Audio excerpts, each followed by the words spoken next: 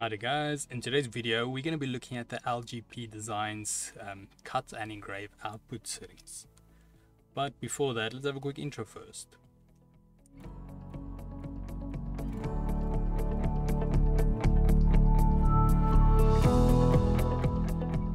So today's video can be found on, um, on uh.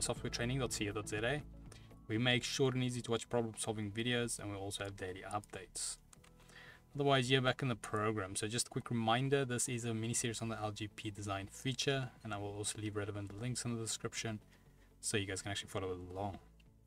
Now, when it comes to the feature, we have not looked at the output tab yet, so now we're going to start diving into this tab. There's quite a few settings here, but um, a lot of this is similar to the actual program's uh, settings, so we do not have to go into too, too much depth with most of them.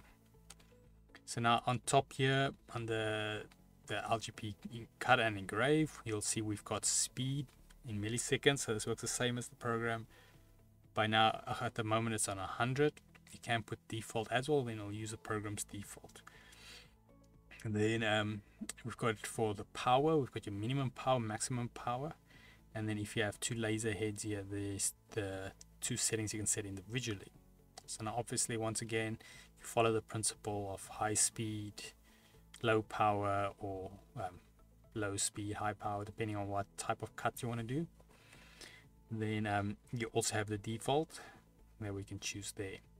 Then we've got scan precision. So this is kind of like your DPI, dots per inch.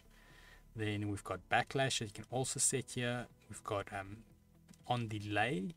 You'll see all of these on milliseconds and then uh, we've got here we've got an on delay is blow on which is quite convenient and then we've got off delay. Then under that we've got your output 90 degree rotation. So if you wanted to rotate your entire thing.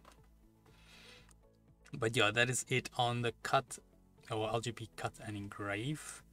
Next up we'll be looking at the enable outline cutting. But in the meanwhile if we had to go here to um, softwaretraining.co.za. You guys will notice we've got a variety of different softwares we do cover, and you can also isolate your search on the top right.